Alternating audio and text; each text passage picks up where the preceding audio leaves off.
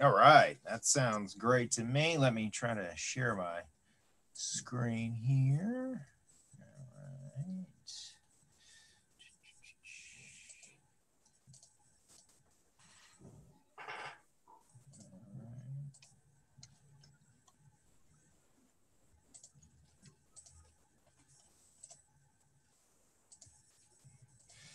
All right. So uh, uh, this uh, is very similar to the presentation I gave last week. So if uh, you tuned in for that, this will be a bit of a review for you. But uh, uh, you know, today John asked me to talk about a little bit about the settlement of the area that became known as Saxe Gotha and then as Lexington District in Lexington County. and so, like he said, my name is J.R. Fennell. I'm director of the Lexington County Museum. Uh, and uh, you know, I have to put in a plug. We are open for tours. Uh, so even though uh, we are practicing social distancing and mask wearing, um, but if you'd like to come out and take a tour, we invite you to please come out. Uh, we actually are going to have some um, outdoor Christmas decorations, period decorations, uh, starting on Saturday. So if you want to come out and see some 19th century Christmas decorations and get in the Christmas spirit, come on out. Uh, but anyway, we'll go ahead and get started with this. Uh, and so again, some of this is review if you've seen some of my earlier uh, presentations, but um, really the first kind of uh, attempt at any type of settlement. I mean, again, there were there were traders here that uh, may have come earlier, uh, but really the first kind of uh, attempt at settlement really started in 1718 with the establishment of Fort Congaree, the first Fort Congaree, uh, and uh, really, this came uh, about because of the Yamasee War. And, and I talked a little bit about this last week, but the Yamasee War, I feel, is just one of those events that's so overlooked, yet so important to the history of the area and to the history of South Carolina overall. Uh, and so, not to go too deep in the woods, or the weeds, I mean, but uh, uh, the Yamasee, again, they were a Native American tribe that uh, it settled down in uh, Jasper, Hampton, Colleton counties. Uh, and um, really because of uh, abuse, uh, miscommunication, misunderstandings, uh, and you know different things like cattle kind of destroying the crops and, and, villages of the Yamasee, encroachment. Um, there was the threat of a, a, census of the Native Americans and the building of a fort down there that really upset the Yamasee and uh, bred mistrust. Uh, and so the Yamasee decided to to uh, attack the colony of South Carolina, uh, the European settlers in 1715. Uh, and the Native Americans that were here, uh, probably here in Lexington County, the Congaree, uh, decided to join in with the Yamasee on the side of the Yamasee. They joined with the Catawba and I think the Wateree and a few other tribes and uh, went down, got defeated, uh, and um, eventually, because of that defeat, and um, I think because of the loss of population because of disease, they decided to leave the area. Uh, but um, the war really scarred the psyche of South Carolinians and really made them start to fear kind of the, the borders more so than they did before. Uh, and so one of the things they wanted to do was to establish backcountry forts uh, really, this was to accomplish several things. One was to provide defense, as you can imagine, uh, but also really to try to control the trade uh, with uh, the Cherokee and some of the other Native American groups out there. Uh, it didn't last very long. they probably had about 21 men, and um, you know, really they they were out there by themselves. But it closed in 1722. but one of the things that that you continue to see, I think, is again, they started to worry about their borders. Uh, again, not only did you have the Cherokee and Creek, which I think they, because of the Yamasee War, started to mistrust a little bit, uh, but you also had the Spanish. Uh, and so, one um, kind of idea they had was to create townships out of the backcountry. And again, uh, because the Congaree had left this area, uh, you know, it was pretty much uh, abandoned. I mean, there was really, um, you know, again, you did have some Native Americans hunting in the area uh, and maybe still living here as well. But for the most part, it was pretty much abandoned. Uh, and so um, they decided to carve out these townships in the backcountry. Uh, and it really helped them accomplish several things. Uh, one of the uh, things that helped them accomplish was to provide a buffer between the Native American tribes, uh, the Spanish, the French, uh, and the Low Country plantations in Charleston, uh, which is, of course, where the colonial government was. it also helped them to try to gain more white pro- Protestants. So, again, during this time period, the 1720s, 1730s, rice and indigo started to become um, grown in the low country and you started to have these huge plantations uh, that were importing a large number of african slaves. Uh, and so the balance between free and slave uh, became quite unbalanced. Uh, and so they really started to worry.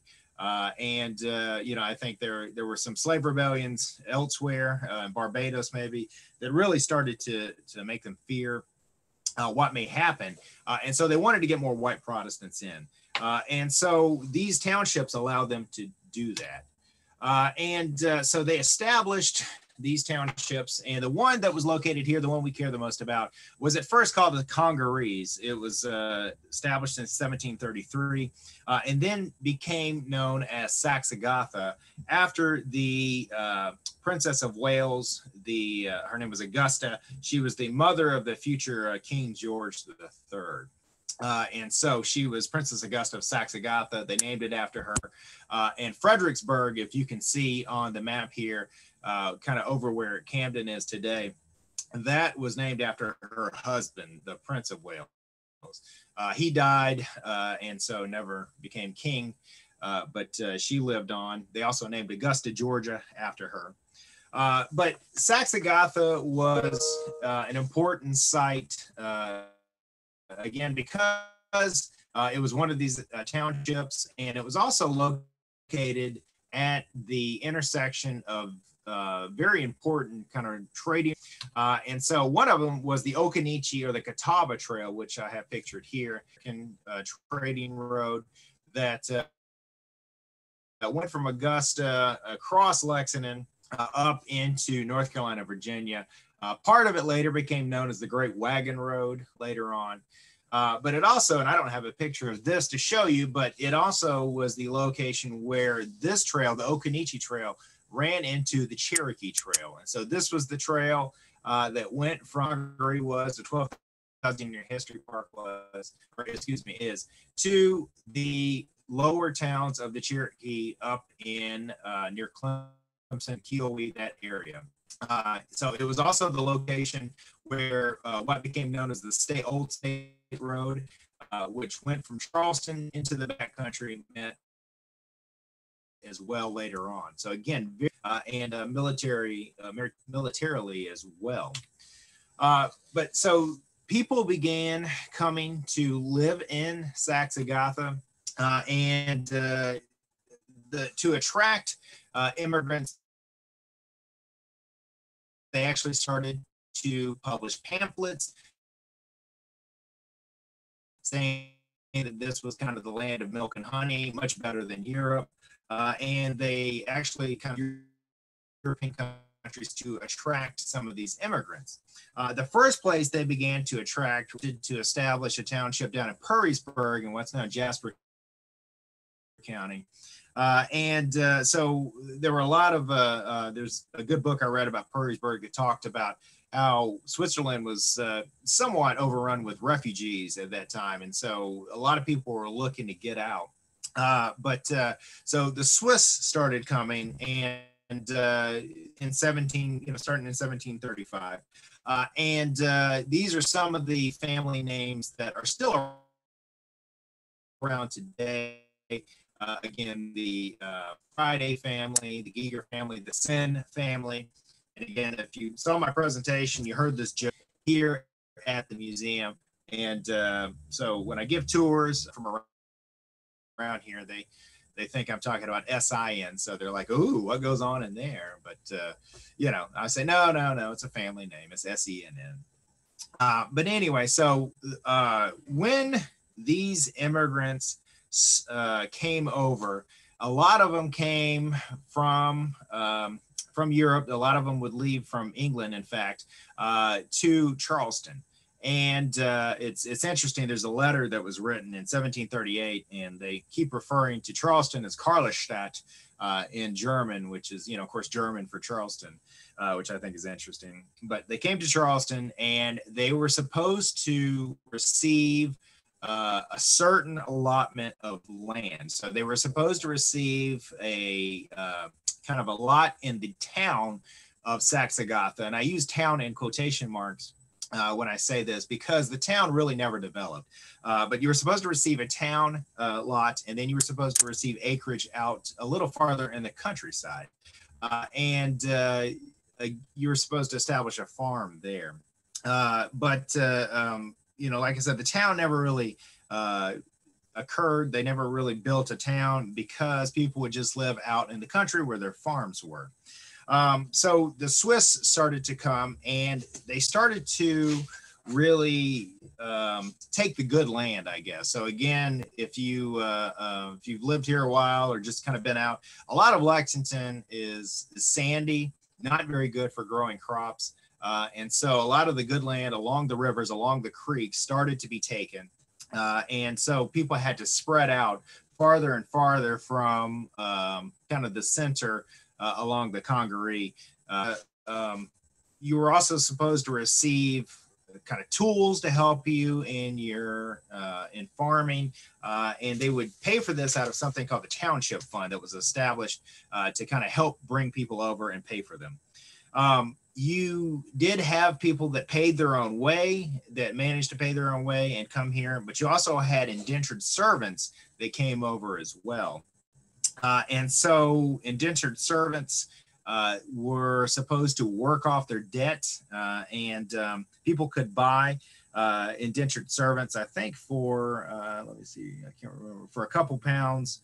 I think I forgot the exact uh, exact number but uh, and then you will work off your debt for three to five years, something like that. But again, um, you also had um, you know indentured servants that couldn't find masters. Uh, and apparently, you had complaints in Charleston about some of these immigrants begging in the streets because, again, they didn't have uh, anybody who would kind of immigration from Switzerland continued throughout the 1730s and 40s, uh, but really was interrupted in the late 1740s by the War of Jenkins' Ear, which, uh, you know, again, is one of the, I think, best names for a war ever. Uh, but it was a war between England and Spain and uh, really kind of cut off uh, any kind of South. Uh, Switzerland also started to become worried about uh, immigration, and you started to see them limit the number of people they could leave and eventually cut it off entirely. And so that's when you saw a lot of what we would consider to be Germans come over. And so starting in the 1750s. And a lot of these Germans came from the southwest part of Germany along the Rhine River in the Baden-Württemberg state. That's where a lot of the, you know, kind of good Lexington County names that you hear today, uh, the Sheelys, the Harmons, the Caughmans, uh, you know, a lot of those families came from that area. Uh, and so it's very interesting to me. Uh, there's a, a, quote I found in, in Robert Meriwether's expansion of South Carolina. Uh, and uh, Joseph Krell, who was an earlier, probably Swiss immigrant, he had come over in the 1730s um, he wrote a letter that uh, in the 1750s, the immigrants that were coming over, these German immigrants from Baden-Württemberg state and around that area, uh, he said that they were, quote, poor and of the meaner sort. So he uh, apparently was not a fan of those coming over at that point. Uh, but so you started again to see settlement uh, kind of spread out. Uh, and basically by 1747, uh, you know, the good land along the river had kind of uh, been taken. They'd spread to 12 Mile Creek, and we're actually starting to settle uh, on the north side of the Saluda River uh, in what's called, uh, what became known as the Dutch Fork. And again, you know, this is, I think, pretty well known by now, but there never really were any Dutch people in the Dutch Fork. Uh, the term Dutch uh, is a corruption of the German word Deutsch, which is the German word for Germans.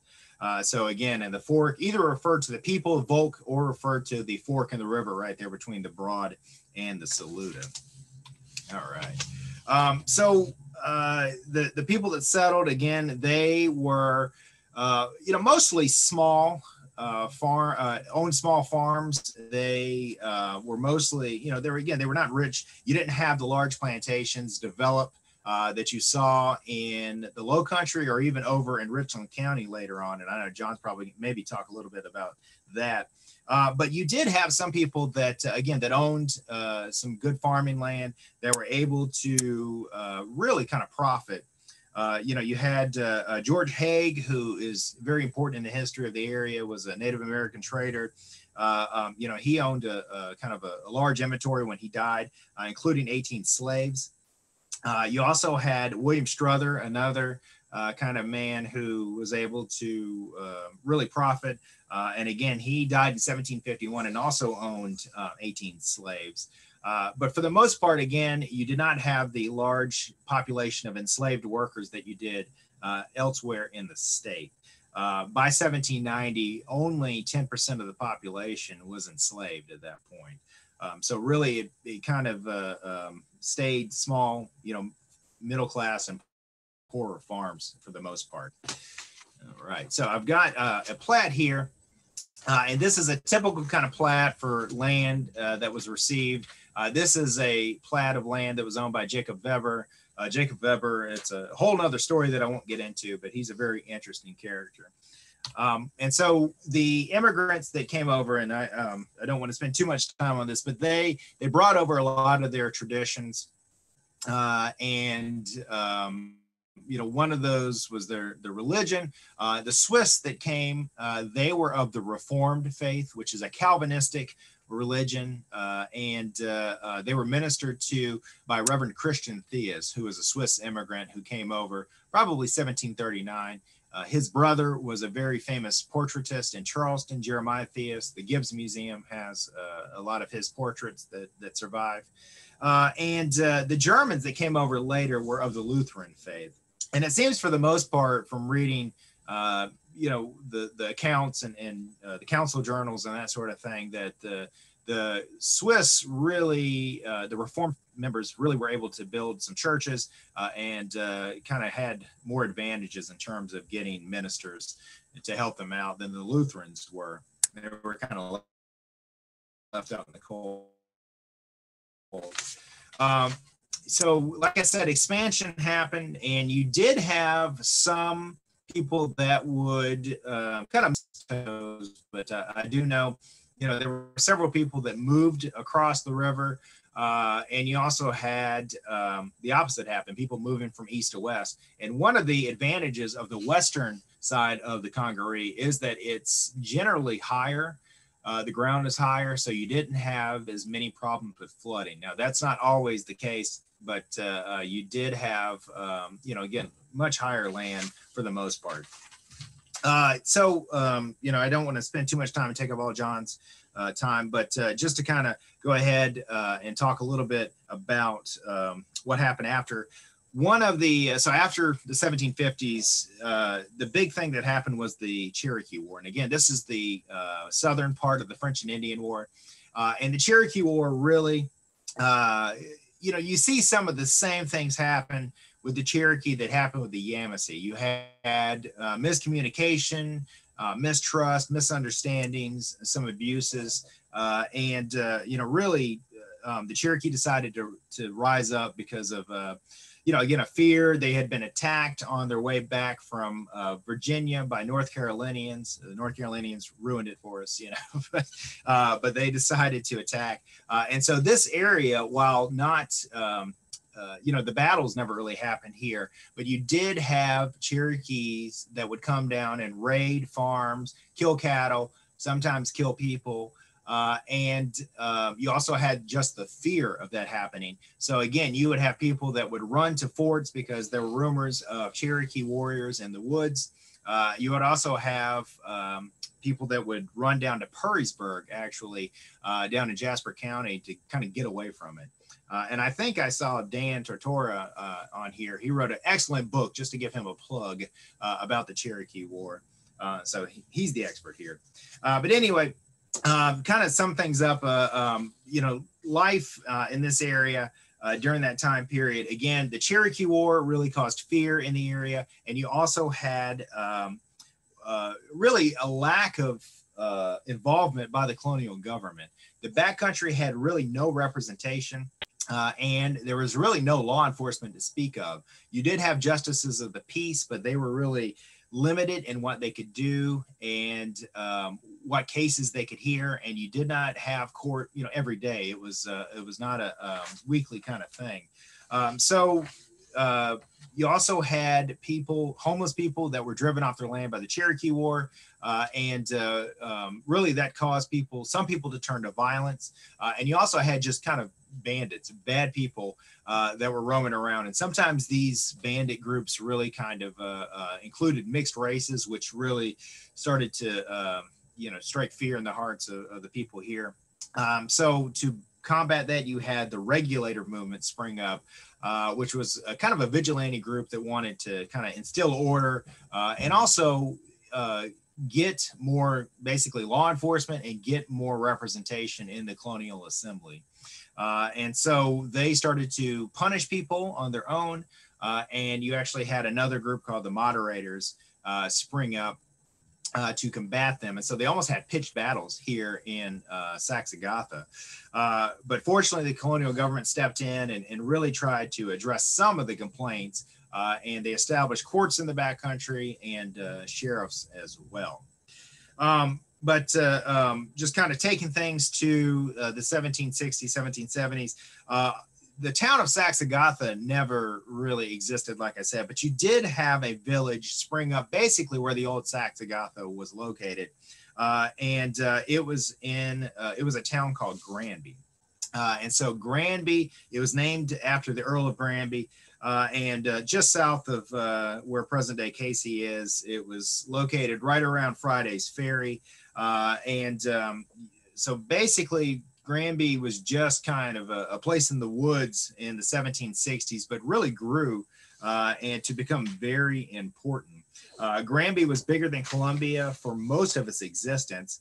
Uh, and, uh, and, by 1802, Granby had nearly 200 houses. It was uh, a very important site for trade. You had tobacco warehouses. Tobacco was a big cash crop. They grew here. Uh, and, um, you know, again, that was kind of the connection with Charleston and uh, via that, the, the whole Atlantic world. So Granby was very important during this time period, the 1760 to 1800, 1810 uh, time period. Uh, the growth of Columbia kind of uh, stole its thunder a little bit as people moved across.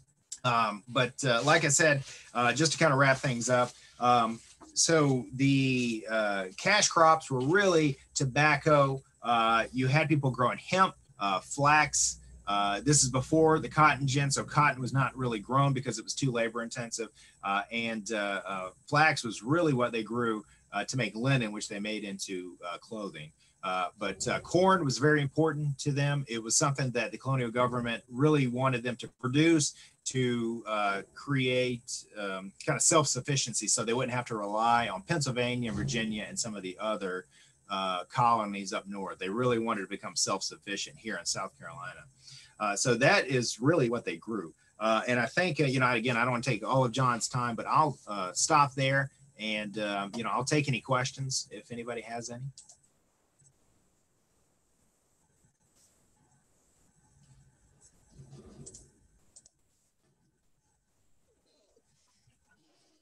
So unmute your microphones if you have a question. I know that was kind of fast and furious there.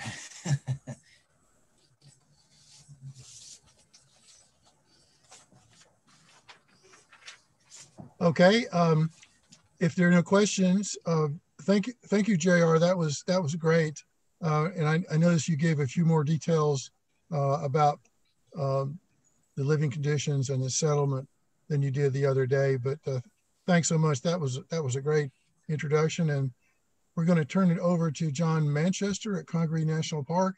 He's going to be talking about uh, similar kinds of activities, but a little uh, further um, down the Congaree River drainage.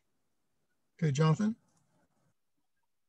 All right. Um, thank you very much, uh, Jr. Uh, that good segue into kind of where um, I'll I'll take it. I'll take you guys with um with um my my presentation here. Um, so get this um, going here. Um, actually, gotta switch my screens here real quick because you're looking at the wrong screen. um, so um, make sure that everyone can uh, see the um, the real slideshow. And I don't know why I was doing this. Hold on real quick. Share a different screen.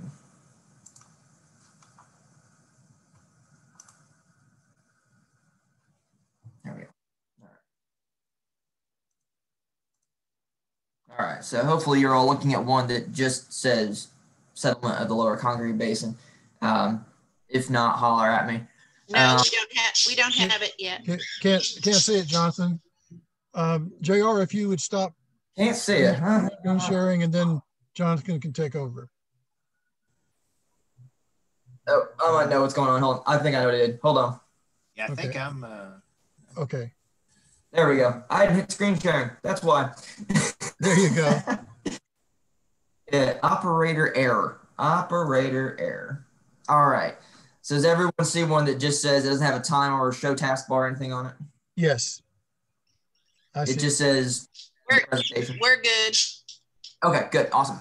All right, so yeah, like so, J- like Jr. said, um, you know, a lot of the a lot of the settlement of this area of South Carolina really started up around you know what is today um, Lexington County, um, West Columbia, Cayce, and um, it was it was it was slow going in in many cases for where Congaree is today.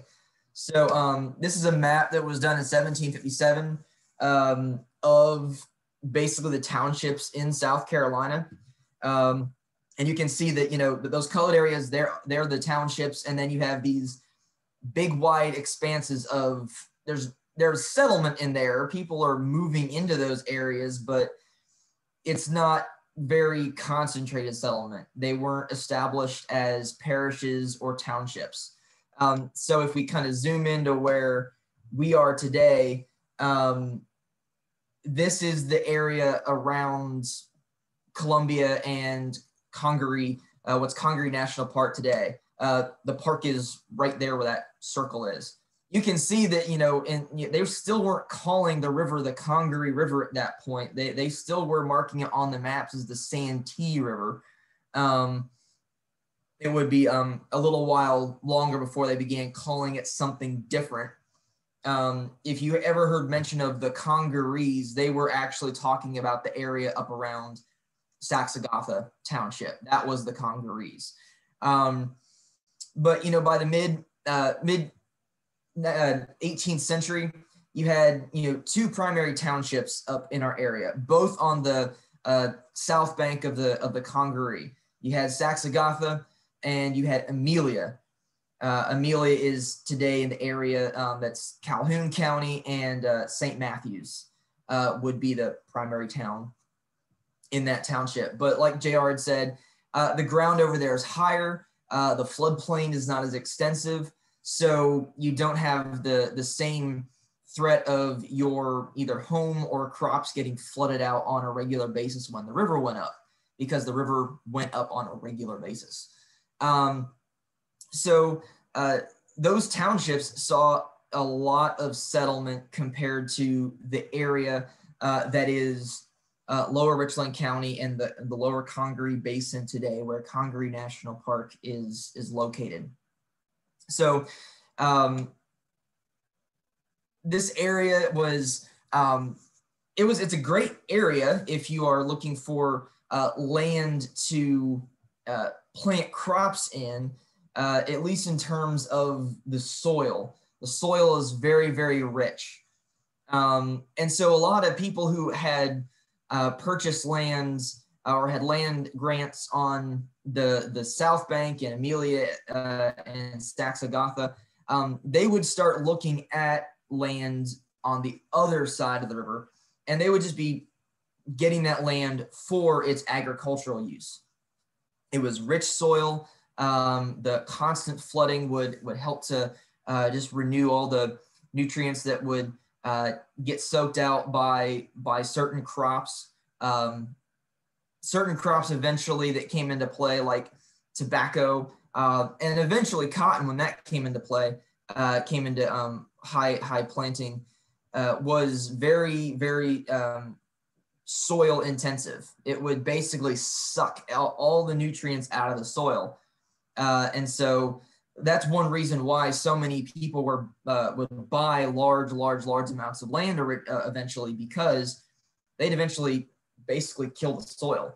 Uh, so once those fields had basically become useless, they just let those fields go fallow for a while, or they might plant it with something else and they just moved on to something another another, field on their property.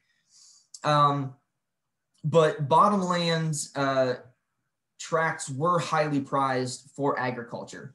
Um, and you can see, you know, that area right there in green, that is the Congaree floodplain, uh, basically going from just south of what is today Columbia all the way down to uh, its confluence with the Wateree River.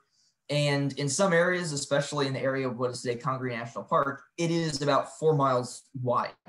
So it's an extensive area of of rich bottomland soil.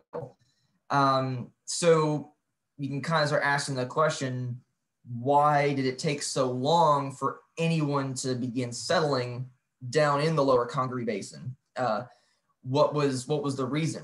And we already kind of talked about a little bit of it, uh, myself and JR, is, you know, the land constantly flooded. You really couldn't live there, but you could at least buy land in there and maybe try and use it.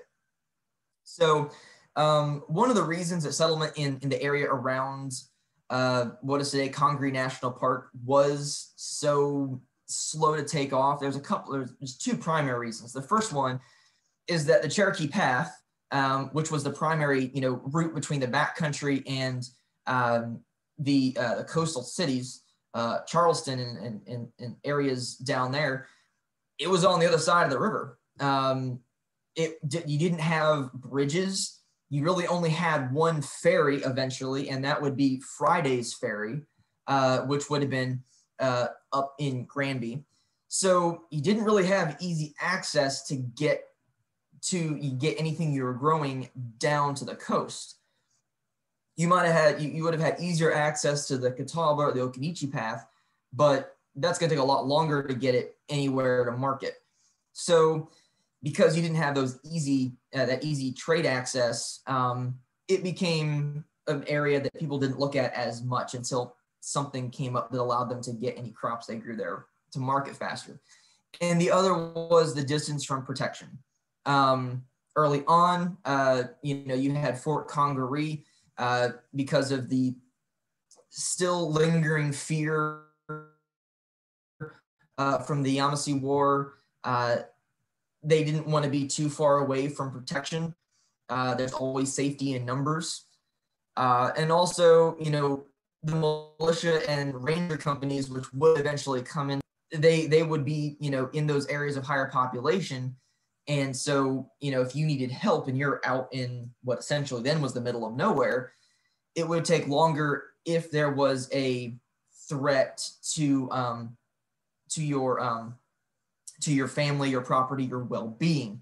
And that threat would eventually not just be from um, native tribes, but also, you know, the regulators um, and just bandit groups that were out there. Um, floodplains and um, very extensive wilderness areas also would have been, you know, a great hiding place for runaway slaves. Um, maroons were in existence uh, in the mid 18th century. We just don't hear about them as much because there aren't as many records from that time uh, that mention them, but they were around and they would have been trying to hide in places like um, the floodplains of, of Congaree. So, um, and there's there's the fort right there. There's Congaree Old Fort in what is today Granby, um, and Columbia. So zooming forward a little bit, you know, we get you know later into the um, 18th century, South Carolina does become much more populated. Um, this is the 1773 Cook map. You can see this is kind of a, a, a zoomed out image, but there's a lot more going on here in the state. A lot more, uh, lot more towns are cropping up. The backcountry uh, is extending further up into what's now the upstate, and uh, the Midlands is becoming much more populated. And if we zoom in a little bit on where Congaree is today, um, you can see that, you know, it's picked up quite a bit. This is not an unsettled, unpopulated area, but it still is fairly sparse in the number of people living there. You'll see there's a lot more homes and um, property marked down on the south side of the river than there is up here. So um, if you know about, you know, where Congaree is, Cedar Creek, um, which you can see pretty much right there in the middle of, of this of this uh, inset of the map, that runs through Congaree National Park. Tom's Creek also runs down uh, into Congaree National Park, and there's really nobody living down there. Uh, but you look across the river and you can see, you know, there's the Lloyd, Thompson, Joiners properties. Uh, there's the Humbleton property, which is over um, near the road that went down to Howells Ferry, which I'll talk about that in a little bit. Um, but uh, most of the settlement that was taking place um, in Rich, what's now Richland County, was actually taking place up in, um, I'm going to zoom in real quick, that area right there. I'm going to go back for a minute, but that's where uh, much of the settlement was taking place prior to 1750. So I'm just going to go back real, real quick here. So most of the settlement was taking place along uh, what on this map is Jackson's Creek. We now call it Gills Creek. Uh, Green Hill, which isn't marked on this map, but it's basically, you know, right in between Jackson's Creek and Rayford's Creek, which we now call Mill Creek. Um, so there were um, a lot of land tracts being um, purchased and set up in that area. Uh, but the area between Rayford's Creek and the confluence of the Wateree and Congaree, still for the most part by the mid 18th century, was largely uninhabited. And, and a lot of that is stemming from the fact that um, you still don't have a lot of access to the trade routes. Um, there was still the threat of Native American attacks in their in, in their minds. Uh, the Cherokee War uh, you know, part of the part of the French and Indian War down here in the South. You know, that's you know 1761 to 63. You know, there were still Native Americans hunting in that area, and there was still that fear. And so, because you were still fairly isolated, people weren't really thinking about going in there. Um, but land was getting purchased. Uh, it was starting to get on people's radar. And the size and the extent of the floodplain, at least down in the lower Congaree Basin, is pretty immense. Like I said a little earlier, three to four miles in width. And it's hard to get through there if you don't have a, a road. It is, you've been to Congaree National Park, it's a wilderness area. You don't have an established path, you have a hard time getting through there. Um, so uh, by 1757, you had a, a about 50 land plats that have been set up between Gills Creek and Rayford's Creek. And this is a map that was done of all the original land grants within what is today Congaree National Park. Um, this was done in 2001. It was still Congaree Swamp National Monument at that point. Uh, but you can see right here that there, a lot of the land eventually did get claimed by people. Um, people were starting to take advantage of the rich landscape down there, the rich bottomland soils. And so they began to try and pick up those land tracts. Um, if you look down on the bottom of the map where the river is, um, a lot of those land uh, land plats that were laid out down there, those are among the first. Um, the first one is actually that of John Lloyd, uh, which is um, up on the north side of the uh, of the floodplain, uh, over closer to the um, uh, right side of the map, and that was that was granted in 1749. That was the earliest one that we know of uh, land grant within what is today Congaree National Park, and you can see. Um, hopefully, you guys can see my mouse moving on this. It's partially in the floodplain, partially outside the floodplain on the bluffs. So it's possible that Lloyd had some had some structures built over here. John Lloyd lived in uh, Amelia Township, uh, today's Calhoun County.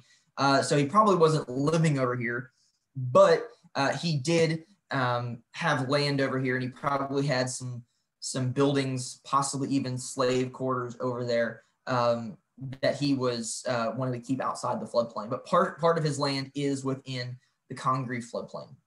But most of the land tracts were, were picked up along the river because you had access at least to some kind of a transportation route there. You could get a boat down the river. And so a lot of those land plats, they're very long and narrow. That was by law. Uh, uh, any any land purchased in those areas uh, had to, it, it was about it couldn't be more than I remember if I remember correctly one quarter of the the, the river frontage couldn't be one more, more than one quarter of the depth of the uh, of the actual plat. So you know if you had you know uh, if you had like a, you know it was if you had a mile if you went a mile in per se that that's a long way. But if you went a mile in, you couldn't have more than a quarter quarter mile of river frontage. Um, so a lot of those uh, tracts of land were picked up, you know, between 1749 and 1765. Uh, there are 75 original tracts of land that we can find that were granted out. Of those 75 within this landscape, 50 were between 1749 and 1765. So the vast majority, uh, two thirds of the land grants that were within what is today Congaree National Park, the core section of the park, I should say, were in that uh, essentially 16 year period. And then the latest one we have in here was, um, I believe, 1806. Um, and that was by um, a, um, I believe, in Adams. Um, so there, there, the land does start getting picked up. Um, and we know that, you know, people were beginning to start looking at it as a, a landscape they could utilize. Uh, it did have an abundance of wildlife and fishing resources. So hunting would have been good in there. Fishing also would have been good in there. Um, it was also really good land for livestock raising. A um, lot of excellent forage for especially cattle and hogs. Uh, a lot of good ground mass. Um, there were there's cane there's cane breaks in there, which was a, a grass that cattle could use. Um, hogs they'll eat pretty much anything, but you have a lot of good ground mass like uh, acorns and other kinds of nuts. Uh, you have ample tree resources, uh, timber resources. So people would be using uh, the timber for building projects and and other necessities. Uh, and there was the hope that if the land was cleared and developed, the soil would be really good for agricultural use. Um, like JR mentioned, major crops, you know, in the in the mid 18th century are things like corn, uh, flax. Um, uh, you have starting uh, the growth of indigo and the hope that you could use that landscape for rice. Uh, rice was the major cash crop down uh, on the coast. And there was the hope that because of the constant flooding that they might be able to utilize that land for, for rice growth. And by the late 18th century, um, you had cotton beginning to start being grown in uh, the floodplain of the Congaree more up towards what is today Columbia, the Hampton. Uh, Wade Hampton was the first person to start growing cotton in large uh, amounts here in um, the Midlands, and that was short staple cotton, not the Sea Island cotton that um, you might have found down um, closer to Charleston and the and the and the coast. So, like I said, uh, two thirds of the land had been granted um, to somebody by uh, 1765.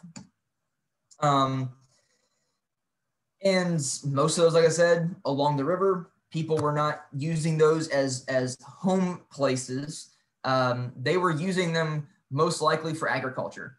and some of those land grants didn't stay in their hands for very long. Uh, some some landowners quickly realized this is too much. I really can't handle this, um, and they sold it off pretty quick. Uh, others tried to hold on to it, tried to use it, and might have stayed for a little while, uh, but it, it was, to use a modern term, as a crapshoot. You know, you just did not know what you were going to get. You were gambling if you were trying to uh, plant large amounts of crops in the floodplain without actually developing the land. Uh, and that land development really wouldn't come until you know later in the uh, 19th century when uh, plantation agriculture and um, slavery uh, really began to pick up within what is today Richland County. But we do have one example of someone who did purchase land um, within what is today Congaree National Park. They had land both in the in the floodplain and um, for use as agriculture and livestock, and possibly even to to live in the area. Um, so um, this is a um, a land plat for uh, a man named Joseph Martin. Uh, this is, and I'll show you a map uh, that shows kind of where it is today in the park. But it's a pretty significant section of land. Um, a lot of it is within the floodplain, but he did have uh, land outside uh, of the floodplain on the bluff line. You can see up kind of towards the uh, top center where there's a, a creek running through. That's Cedar Creek. And this is over in the area around what is today South Cedar Creek Canoe Landing. Um, and you can see kind of down the bluff edge, uh, my mouse is kind of going around it. It says Martin's old house. So it seems that, you know, he was, he did have a, a, a, a structure there. Um, it doesn't say quarters or anything of that nature. So it does seem that he may have been living in the area.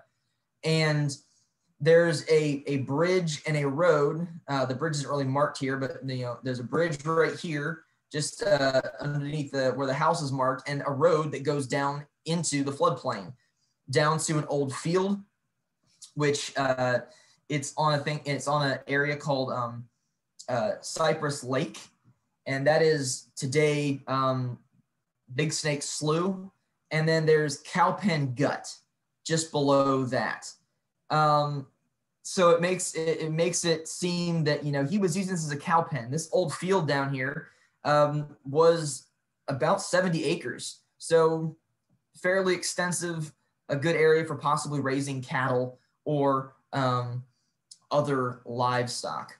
Um, there there is uh, a good amount of um, other information you can find on here, such as you know what kind of trees are growing down there. Um, because trees were used as as um, survey po- survey points, and this was this was one of those those tracts of land that got you know picked up uh, by someone uh, hoping to utilize this landscape. This is where it is today um, within the park. It would be off of what is the King's uh, what is the King Snake Trail, and um, it's a pretty it's a pretty good sized section of land that Martin had and eventually he will uh, sell this land to um, Charles Cotesworth Pinckney and Edward Rutledge, names you may be more familiar with because they are very, um, very well-known instrumental South Carolinians.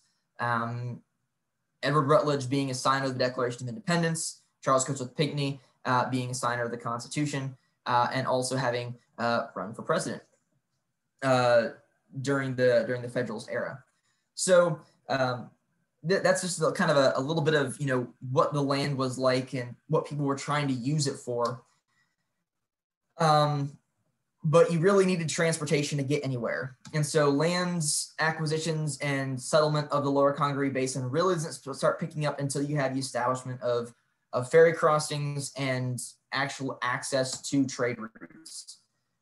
And so, uh, kind of going back to that uh, Cook map, um, there are three ferry routes by the time this map is done, right before um, the American Revolution really kicks off.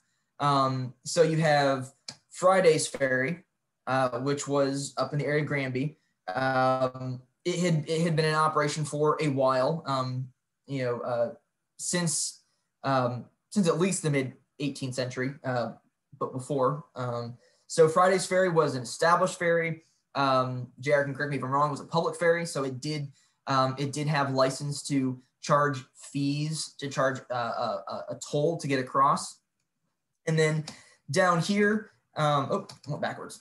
Uh, you have Howells Ferry, uh, which is just north of what is today the park. Uh, that was a private ferry. Uh, it was um, operated by the Howell family. They did not have permission to charge a, a toll to cross, uh, but you know people could ask permission to go across if they wanted to. And then you have McCord's Ferry.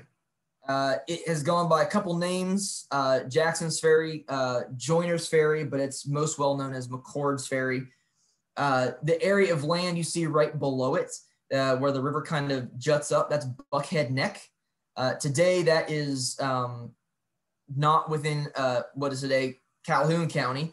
It was cut off in, seven, in, 19, in 1852 when the river flooded and made a new cutoff. So that's now what we call Bates Old River today.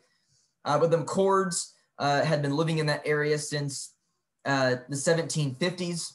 Uh, they uh, ran a private ferry, and eventually in 1758, uh, they were able to get, um, no, 1766, they were able to get permission to operate a public ferry. So they were able to actually charge a, a toll to get across and there's a road that runs north, and that would have taken you up towards uh, Camden. And so that became a major trade route. Uh, the McCord's Ferry Road, uh, it connected the areas north, uh, you know, Camden, the Waxhaws. It connected uh, those areas down to the Old State Road, the Cherokee Path, the road that went down towards Charleston. So this became a major, major, major uh, trade corridor uh, by uh, the 1770s, right before uh, the Revolutionary War uh, kicks into high gear. And it was a strategic point as well during that conflict.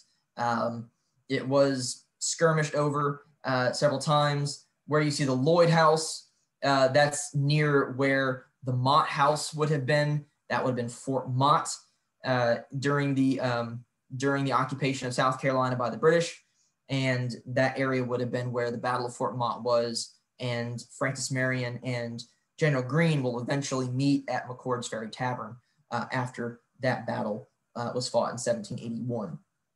So uh, by the late 1700s, people are beginning to pick up uh, a lot of land within uh, the floodplain. Land begins to consolidate into the hands of uh, one person and so by the 1850s, zooming forward, um, you had basically 11 landholders within what is say the core of the park. So you went from 75 land grantees having land in uh, 1802 or having gotten first grants to 11 by just before the American Civil War. So uh, and those those plantation owners were hoping to uh, capitalize on cotton, but also growing things like corn and other things that they could use as subsistence crops, uh, predominantly for um, the large slave populations they had on on their um, on their plantations. Uh, so um, that's kind of where I've you know I, I'm uh, I'll wrap it up there. I'm going to stop sharing my screen, but I did see there were some um, questions that popped up. Um, so um, some of those might also be for, and that might be JR talking a bit too as well. Um, Any questions for Jonathan or JR? I do see one from uh, from from Dennis uh, asking if parts of the floodplain of Congaree were cleared for farming, and are those areas now considered to be second growth? Um, and how was the floodplain actually cleared? Um, so yes, parts of the floodplain were cleared. Um, some of those areas, uh, it depends on what trees you're you're talking about. Um, some of the trees that are in those areas now, because of when they were cleared, um, they're getting to what we would call old growth trees because they are of species that don't get to the same age as like a bald cypress, which can which takes a while to get to old growth age. Um, but it's not necessarily what we would call virgin forest. It, it has been it has been used, and a lot of those same areas that got used for farming and cleared during that time also eventually got cleared again in the you know late 19th and early to mid 20th centuries when they were logging. So uh, they would now be considered even age second growth um, if they were logged more recently as well. And how was it cleared? Well, um, to, to be blunt about it, the, the landowners didn't really have to, worried about the labor themselves because they weren't doing it. Um, any land that was cleared for um, especially large agricultural use, it was done by slave labor. Um, and plantation owners in, in, in pretty much across the South, but you know, here in Richland County um, specifically, if, if they didn't have enough um, enslaved labor on hand themselves, they would hire out. Um, they would they would hire out from other plantations to get uh, their enslaved persons to help them.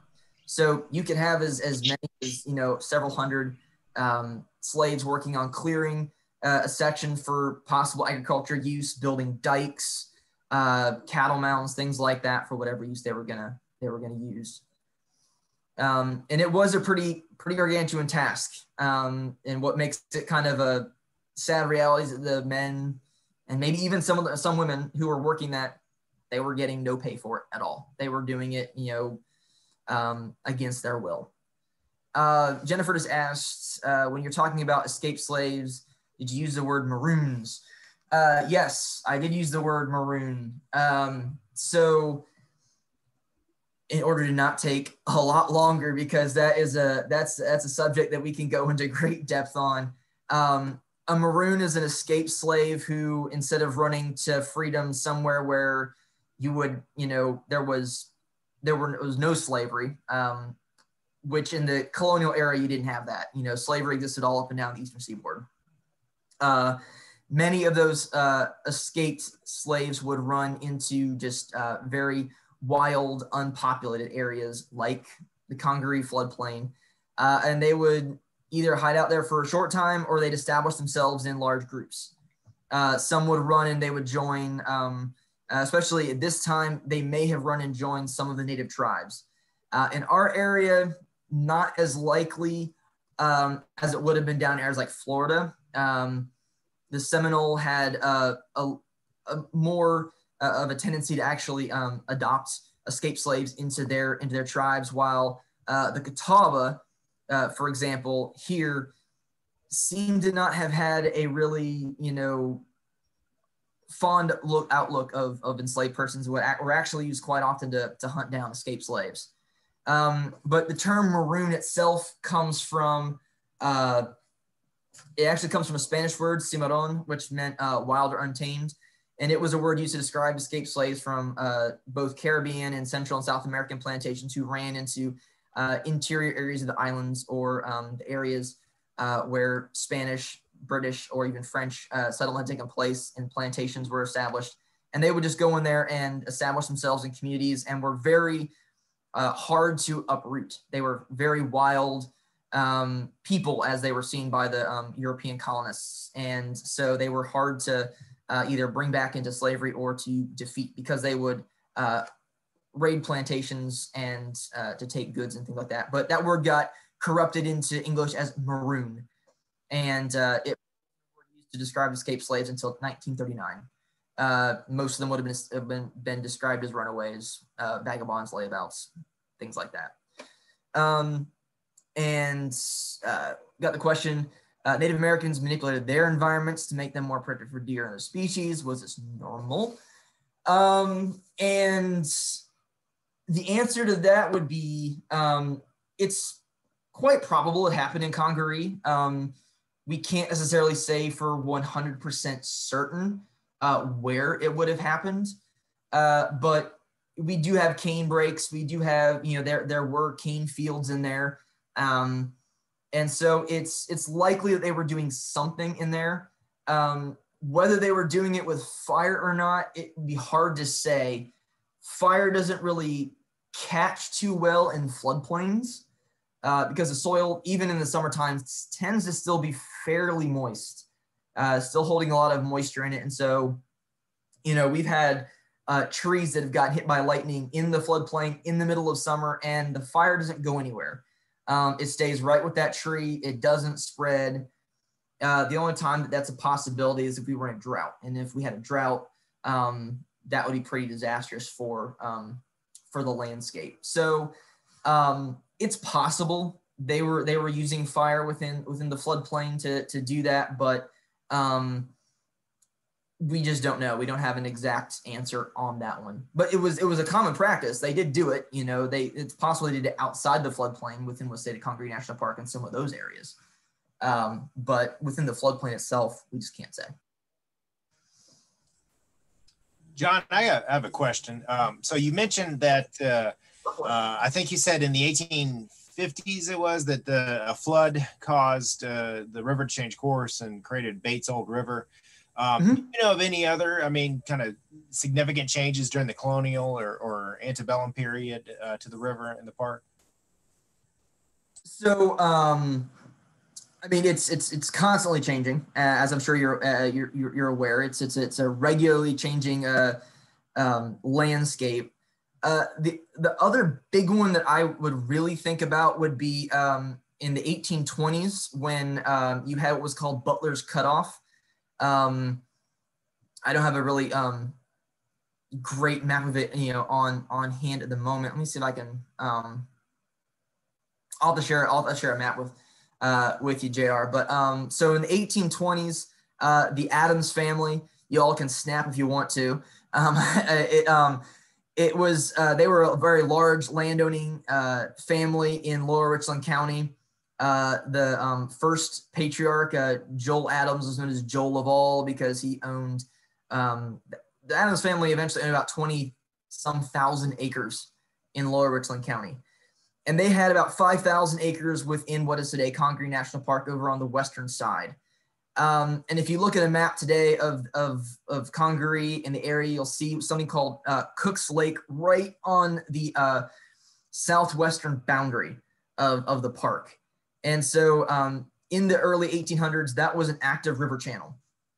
And uh, at some point, uh, it got cut off. Um, I'm still not 100% sure if it was a natural cutoff uh, that just, just happened or if it was a natural cutoff that was occurring that was then um, just helped along by, by um, human hands. Uh, because the Adams uh, had a had a, it sounds like a, a landing down there. They had a shad fishery down there.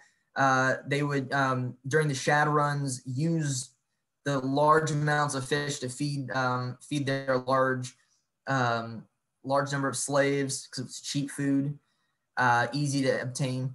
And when the river got cut off and the new channel was created, uh, Joel Adams was unhappy about that. He was very upset um, because that it was going to ruin his shad fishery, um, and possibly was also likely to you know stop his easy access uh, by boat down the coast because they did have a steamboat uh, the James Adams uh, they were using uh, to transport things down river and also bring stuff back up. Uh, so that one was also a pretty significant uh, change to the river landscape. Um, another change we've had is erosion. Uh, we had there was a Native American uh, woodland era mound um, that we had um, record of that um, has since unfortunately been um, completely um, lost due to just the erosion and the change in the riverbank. Uh, so changes are occurring all the time. If you look at a, a map, you'll see the um, you'll see the um, oxbow lakes that are still very close to the, the river today. So it's changing on a regular basis. But that's another one of the big ones. Uh, Cooks Lake, Butler's Butler's cutoff.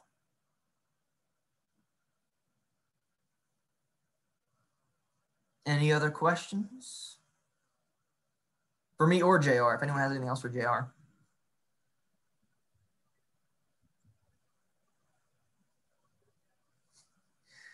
Well, No, Jennifer, I, I, I do not know. I do not, I, I, as far as I know, I do not have a connection to uh, the um, to Manchester Forest. Um, I'm a middle, I'm a Midwesterner by by birth, so I I'm I'm a transplant here to South Carolina. But I do love it. I do love the area and have really enjoyed learning the history about it.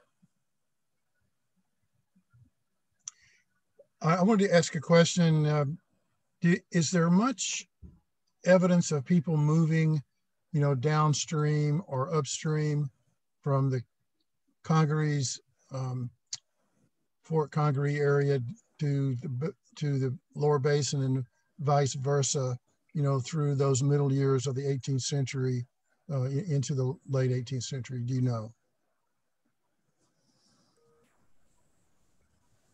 Um, and JR might be able to an- uh, speak to this too. Um, so a lot of the a lot of the land grants um, you can you can find connections to people who were living up you know up towards Columbia and Granby uh, and also in what is today Calhoun County and Lexington County. Um, there are a number of people who are purchasing they purchase large areas of land on both sides of the river um, downstream between you know the, the where the broad and, and saluda come together and where the congaree and Wateree come together.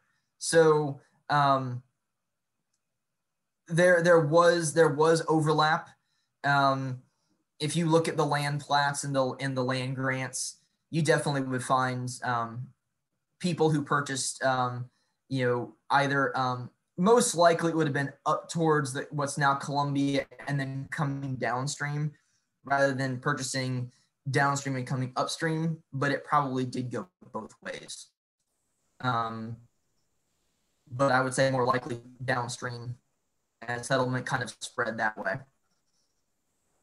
But we have to go. I have to. I have to really dig into some of the um the land plats and everything to see on that end. Uh, if JR. knows anything, um, yeah, if you know anything, JR. Go. I mean, it seemed, uh, you know, again, I'm not uh, uh, uh, um, on, on that, but uh, you know, you did see, I think, the middle uh, 18th century, 1750s was saying. I mean, really, if people moved, it was around the Rayford's Creek area. I mean, I really don't think you saw you really had them move downstream until you know, like John was saying, you had those ferries established and that sort of stuff. Um, they mainly stayed, seemed that, and and really in the, I think 18, especially the early to mid uh, 18th century, seemed to have more people move from east to west than west to east or anything like that. So they seem to really go up, you know, into the Saluda. At least those Germans and, and Swiss Germans, they, they went towards the Saluda more so than down towards the Wateree. Yeah, and Thomas has a question: Was logging a commercial venture to the coast? Logging has been a commercial venture within at least the Congaree um, floodplain um, since settlement began uh, within uh, within that area. Uh, started out small. Obviously, didn't have uh, ways to get you know a ton of lumber downstream at those day uh, in those in those you know early years of settlement. Um, commercial logging didn't really take off until the you know 19th century, but lumber uh, lumber harvesting and shipping timber downstream did occur in the um, 18th and 19th centuries, um, but it really picked up late 19th, early 20th.